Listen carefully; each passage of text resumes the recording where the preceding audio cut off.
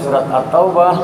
Allah berfirman laqad ja'akum rasulun min anfusikum azizun 'alaihi ma 'anittum harisun 'alaikum bil mu'minina raufur rahim. Tuh At-Taubah 128 Jadi bukan kata siapa-siapa yang menggambarkan betapa Rasulullah SAW Allah dalam firman-Nya Laqad ja'akum rasulun min anfusikum. Sungguh telah datang rasul dari jenismu sendiri, maksudnya dari bangsa manusia. Azizun alaihi ma'anittum. Betapa kemuliaan Rasulullah itu amat berat merasakan penderitaan umatnya. Harisun alaikum adalah Rasulullah Sallallahu Alaihi Wasallam menaruh perhatian besar untuk kesuksesan kebahagiaan umatnya. Bil mu'minina raufur rahim. Dengan orang yang beriman ada dua asma Allah itu raufur rahim. Amat sangat belas kasih dan sayang. Lagi selawat terbayang betapa tuh Allah memujinya. Wa innaka la ala khuluqin sungguh pada diri engkau telah dapat akhlak yang sangat mulia. Betapa kalau kita renungkan sejarah Rasul Shallallahu Alaihi Wasallam, solawat nggak ke mana-mana pikirannya, bisa menetes air mata dan kita cinta pada Rasulullah saat Shallallahu Alaihi Muhammad. Shallallahu Alaihi Wasallam.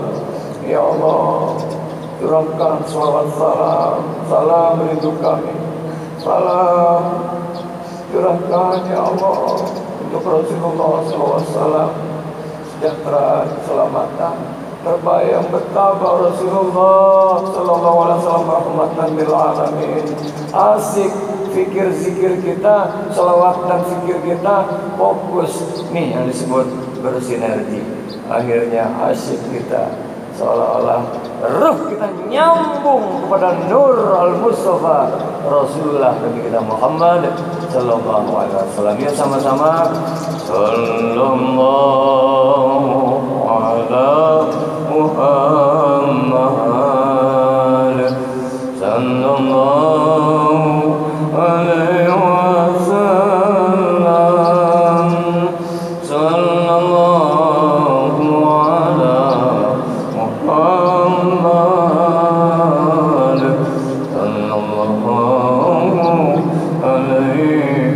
wasallam أستغفر الله رب البرايا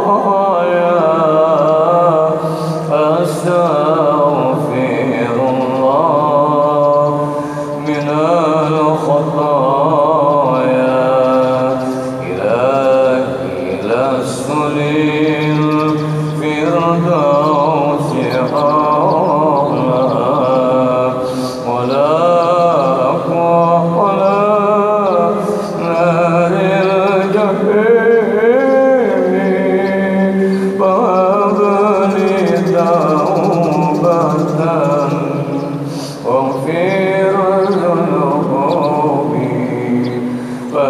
فإنك غافر الذنب العظيم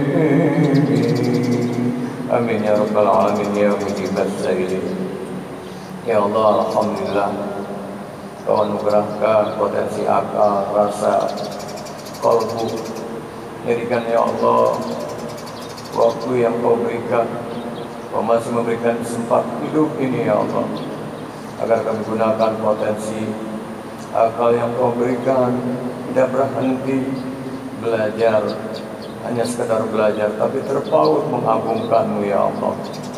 Dan saat kami berzikir kami pun mampu menyelam lebih jauh untuk bertakarruh masuk ke dimensi hakikat ma'rifat padamu ya Allah. Kami lemah oh yang maha kuat. Beri kekuatan lahir batin pada kami. Kami hina ya Allah oh yang maha mulia. Muliakan kehidupan dunia akhirat kami. Kami fakir kau yang maha kaya sejahterakan kehidupan dunia kami dan berkatkan nanti kelak di negeri akhirat. Ya Allah ya Rahman ya Rahim. Banyak hajat kami maksud baik kami. Usai subuh kami munajat. Kami lanjutkan ya Allah untuk bersama-sama berhimpun dalam sebuah majelis ilmu ini ya Allah rahmati berkahi kabulkan semua maksud baik kami ya Allah. Ya Rahman ya Rahim ya Hanan ya Manan ya Badi'us samawati wal ardh ya Dzal Jalali wal Ikram ya Hayyu ya Qayyum ya Hayyu ya Qayyum. Wahai Allah yang hidup kekal yang mengatur segala urusan makhluk-makhluknya beri ya Allah hidup kami senantiasa dalam naungan rahmat kasih sayangmu segala urusan kami dalam bimbingan petunjukmu.